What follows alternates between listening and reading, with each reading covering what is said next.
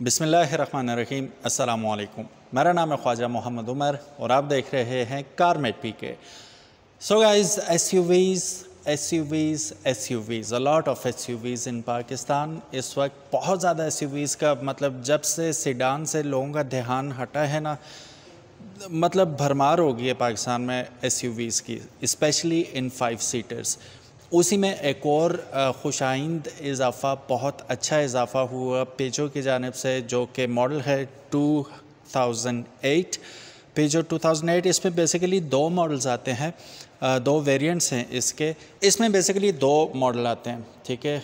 दो वेरिएंट्स हैं बेसिकली एक है एक्टिव जो कि बेस वेरिएंट है, और एक है एल्यूर जो कि टॉप टीयर वेरिएंट है, इनका फ्लैगशिप वेरिएंट आप कह सकते हैं। ज़िक्र करते हैं, इन दोनों का थोड़ा थोड़ा मुआजना भी करते जाएँगे साथ साथ लेकिन वीडियो में आगे बढ़ने से पहले जो आपका काम है करने का, वो ये है कि अगर अभी तक आपने कारमेट पीके को सब्सक्राइब नहीं किया तो make sure you do it as soon as possible ताकि इसी किस्म की खूबसूरत गाड़ियाँ हम आपके लिए लेके आते रहें। गाड़ी आप ज़रा एक नज़र देखें तो ये बहुत ही एलिगेंट किस्म की, खूबसूरत किस्म की गाड़ी है। अब है तो ये एस अब एसयूवी मेरी हाइट देखें फाइव एट है ऑलमोस्ट तो अराउंड फाइव फीट इसकी हाइट बनती है। तो ये बड़ी एसयूवी नहीं है, ये बिल्कुल छोटी एसयूवी नहीं है, ये मतलब मिड साइज़ आपकी एसयूवी आ जाती है। दूर से देखने पे कार लगता है स्टेरॉइड्स पे है, और थोड़ी सी बड़ी होगी, यूँ लगता है इसका। बहरहाल, कमाल की चीज़ है। सो गाइस फ्रंट से स्टार्ट करें तो signature three claw LED headlamp आपको नज़र आ रहा है। खूबसूरत किस्म का। It also comes with D R L S day time running lights के साथ ये आता है। और इसकी लुक जैसा कि नाम से ज़ाहिर है थ्री क्ला पंजों के स्टाइल का इन्होंने हेडलाइट दी है और ये वन ऑफ़ अ काइंड है। आपको दीगर गाड़ियों में डिफरेंट डिज़ाइन तो नज़र आते हैं, लेकिन इतना एलिगेंट और ख़ूबसूरत डिज़ाइन देखने को नहीं मिलता। हेडलाइट का एक और ज़बरदस्त फ़ंक्शन है कि ये ऑटोमेटिक लाइटिंग के साथ आती है। अब इसका क्या मतलब हुआ? ऑटोमेटिक का उसका थोड़ा सा सीन ये है कि इसके अंदर जो हाई बीम और लो बीम है, वो इंटेलिजेंट टेक्नोलॉजी यूज़ की गई है। ये according to the situation road traffic और उस हिसाब से आपके ऑटोमेटिकली लाइट को एडजस्ट कर देती है। तो ह्यूमन एरर का जो होता है मार्जिन वो बहुत ज़्यादा कम हो जाता है।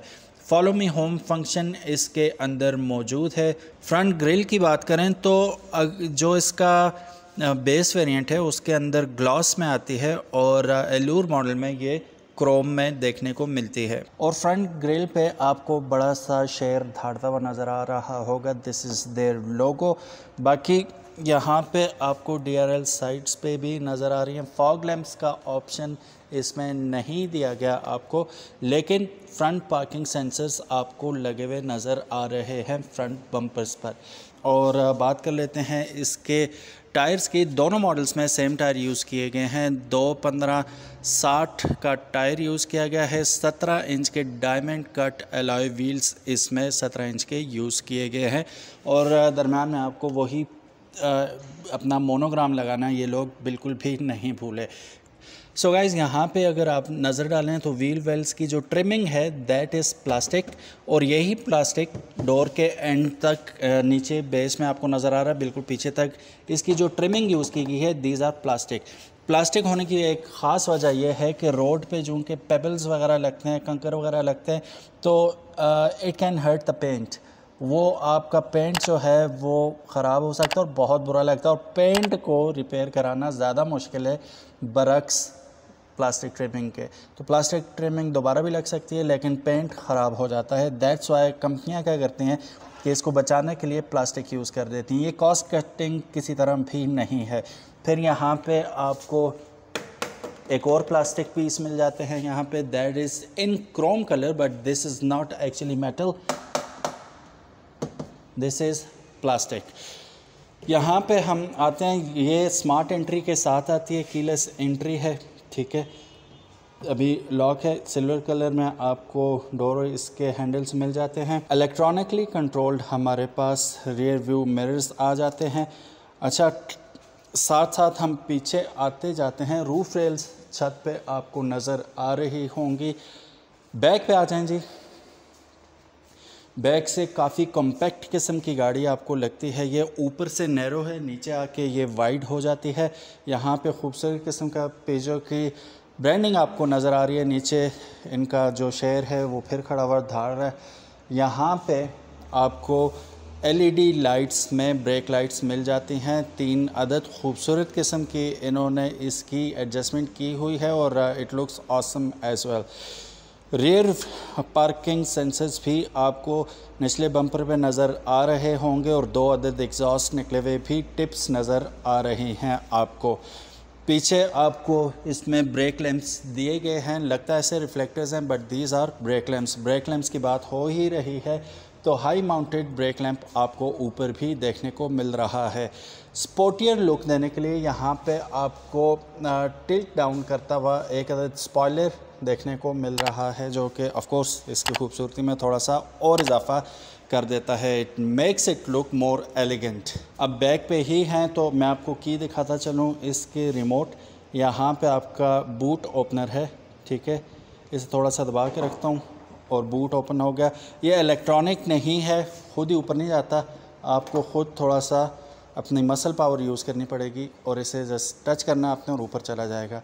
Boot space more than enough है course it is an S U V sports utility vehicle अब यूटिलिटी इसकी यही है कि फ़ाइव सीटर होने की वजह से बूट स्पेस आपकी काफ़ी सारी बन जाती है। किसी भी फैमिली ट्रिप पे आप जा रहे हैं तो तीन चार आपके सूट केस इसमें आसानी स्टोर हो जाएँगे।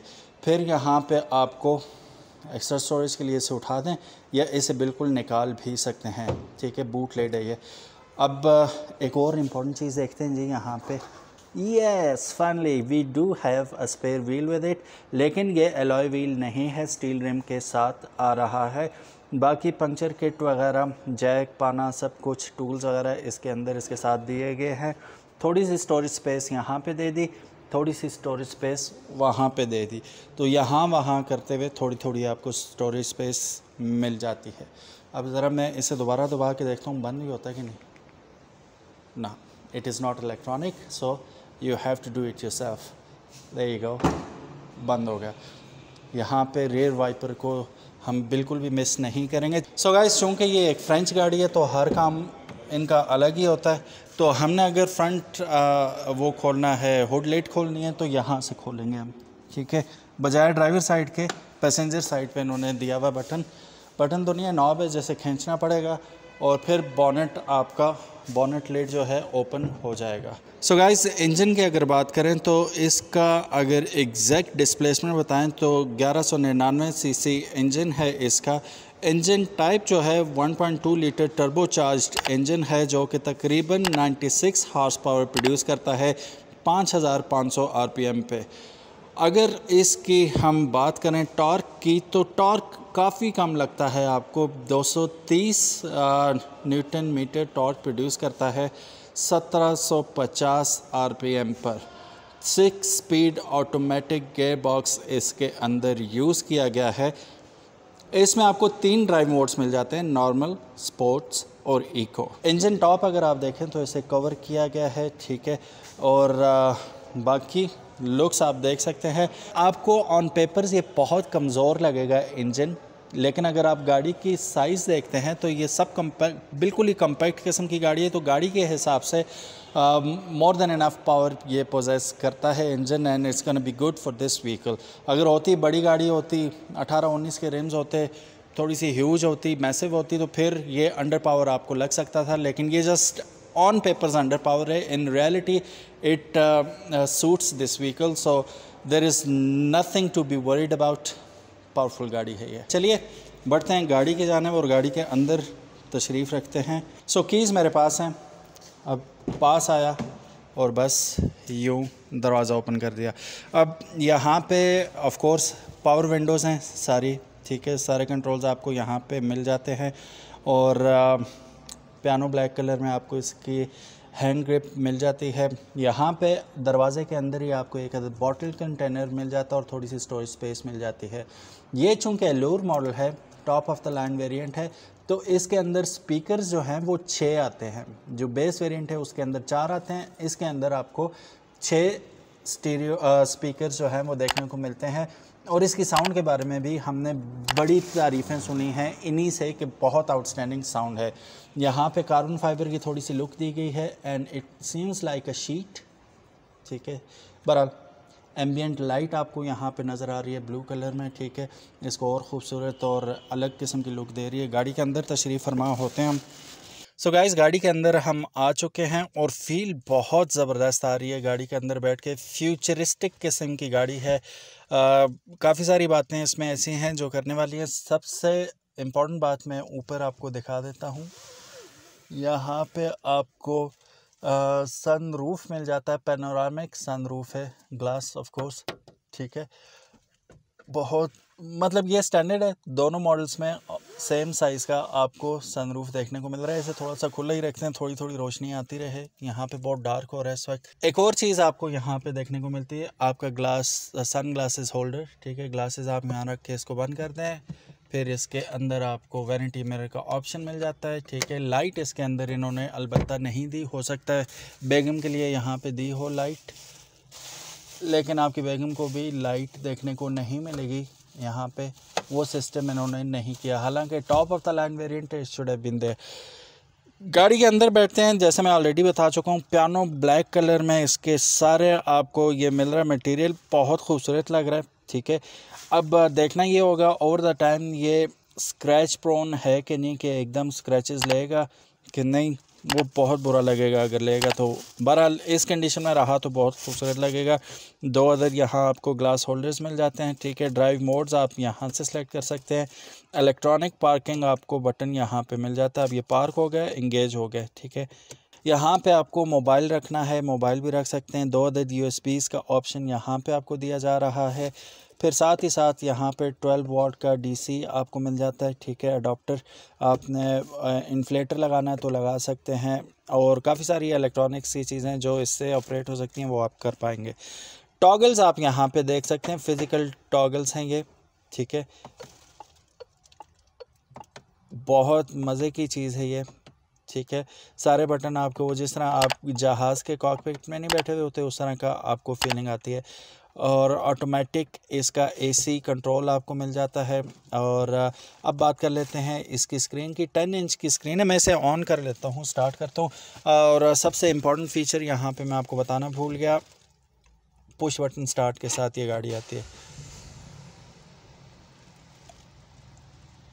अब पुश बटन स्टार्ट के साथ हमने स्टार्ट तो की। सामने हमें एक चीज़ नज़र आई कि लाइट्स ने ऑटोमेटिकली अपने आप को एडजस्ट किया। मैं इसे दोबारा बंद करता हूँ। गाड़ी स्टार्ट होगी, वो देखा आपने लाइट्स ऑटोमेटिकली ऊपर नीचे होके एडजस्ट हो रही हैं माहौल के हिसाब से इन्वायरमेंट के हिसाब से। ठीक है जी, अब हम आ जाते हैं इसकी स्क्रीन की जानब टेन इंच की आपको यहाँ पे इंफोटेनमेंट सिस्टम मिल रहा है।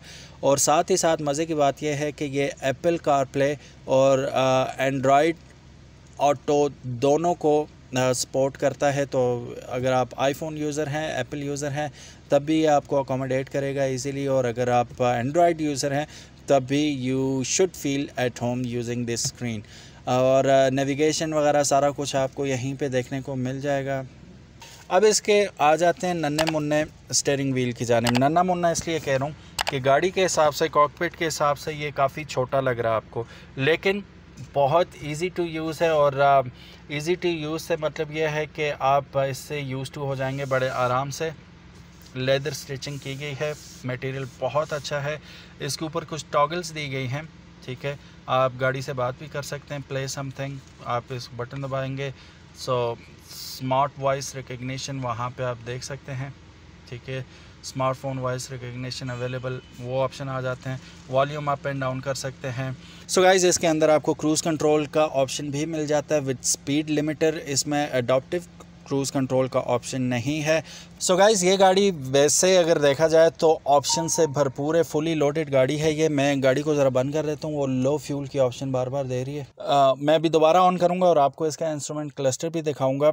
बहरहाल this car is fully packed with features lane assist आपको इसमें मिल जाता है।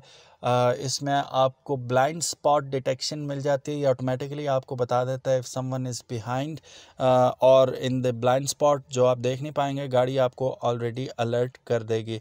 Auto dimming and high beam वो भी आपको ऑप्शन इसके अंदर प्री इंस्टॉल्ड मिल जाता है ऑलरेडी बाकी गाड़ी की फैब्रिक्स की बात करूँ सीट्स की तो ये आ, मतलब बहुत ही आउटस्टैंडिंग किस्म का आपको लेदर यहाँ पे स्टिच करके दे दिया इन लोगों ने, ठीक है?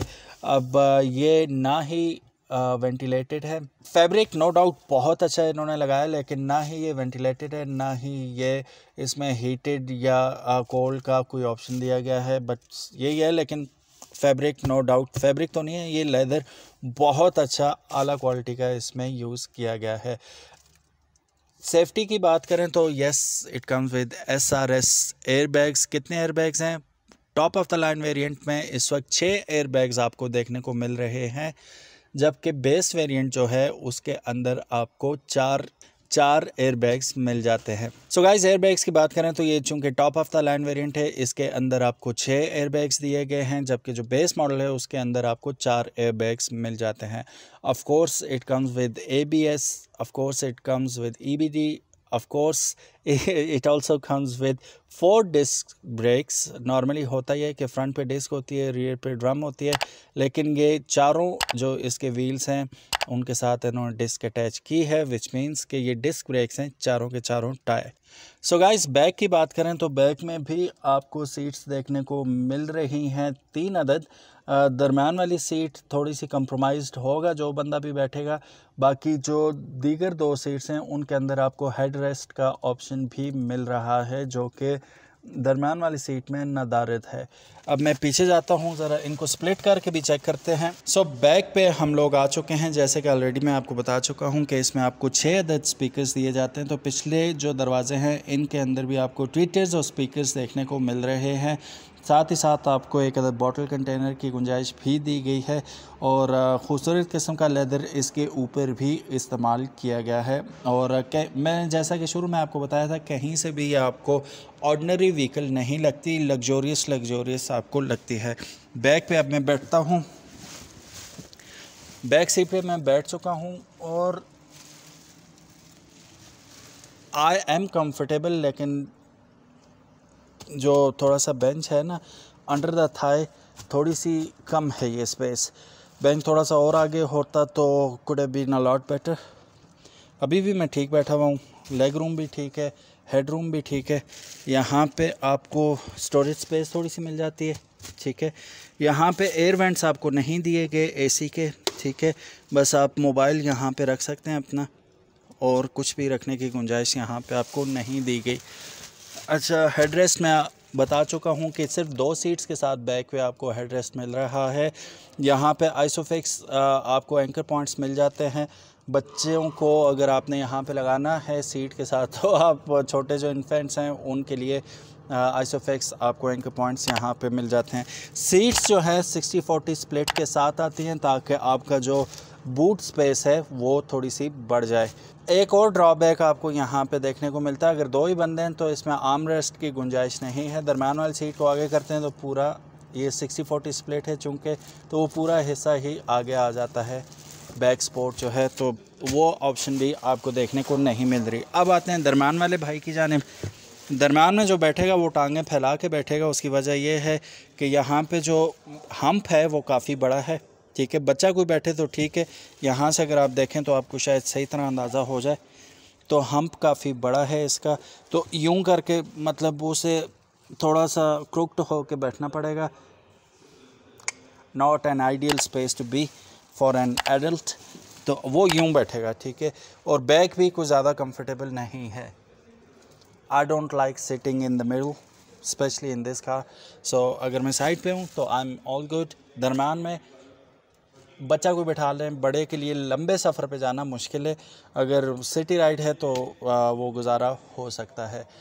बाकी यहाँ पे ग्रैब हैंडल्स आपको मिल जाते हैं दोनों जानब। फ्रंट पैसेंजर के लिए नहीं मिलता। वाह दैट्स क्रेज़ी होना चाहिए था लेकिन इसमें फ्रंट पैसेंजर के लिए आपको देखने को नहीं मिल रहा कोई भी ग्रैब हैंडल तो वो आ, बस अब ख़ुद सही संभल के बैठेगा। उसे स्पोर्ट वगैरह कुछ भी नहीं मिलेगी। सो so गाइस जैसा कि मैं ऑलरेडी आपको बता चुका हूँ, ऊपर से नैरो है ये गाड़ी बैक से और नीचे जाके वाइड हो जाती है। अब नैरो होने का अब ये देखें, मैं निकलते वक्त थोड़ा सा आपको इशू होगा। अब देखें मैं निकलने के प्रॉपर मैं कोई एक्टिंग नहीं करूँगा प्रॉपरली निकलने की कोशिश करूँगा यहाँ से। तो it is kind of very very tight spot यहाँ से निकलना, ठीक है? अब देखें मैं बहुत ऑकवर्ड होकर निकल रहा हूँ। ये। अब ये मैं देखभाल के नहीं करूँ कोई अचानक निकलेगा ना डज होगा सर। था, ठीक है? तो you have to be careful getting in and out of this vehicle build quality की बात करते हैं। सॉलिड क्वालिटी एक अजीब सा रिवाज चल गया पाकिस्तान में। थपथपा के देखा जाता है ना। सो so गाइज़ अब बात कर लेते हैं प्राइसेस की। दो वेरिएंट है, एक है स्टैंडर्ड एक है top of the line standard है एक्टिव ये है एल्यूर स्टैंडर्ड जो है पचास लाख रुपए के करीब आपको मिल जाएगी और जो एल्यूर है, ये आपको मिल जाएगी अट्ठावन लाख पचास हज़ार रुपये में। इसमें टैक्सेस इंक्लूड नहीं है फाइलर और नॉन फाइलर वो आप जिस वक्त लेने जाएँगे, वो इन्फॉर्मेशन आप उनसे हासिल कर सकते हैं। आपने कमेंट सेक्शन में हमें ज़रूर बताना है कि आज की ये खूबसूरत किस्म की छोटी सी एस आपको कैसी लगी। अगर तो पसंद आई है give this video big thumbs up and share it with your friends और what do think about this vehicle comment section हाज़िर है, ज़रूर बताइएगा। अपना बहुत ज़्यादा ख्याल रखिएगा, इंशाल्लाह मिलते हैं किसी नेक्स्ट वीडियो में। ऐसी ही खूबसूरत गाड़ी के साथ और अपने स्टाइल में उसका रिव्यू भी आपके लिए लेके आएँगे। अल्लाह हाफिज़ अस्सलाम वालेकुम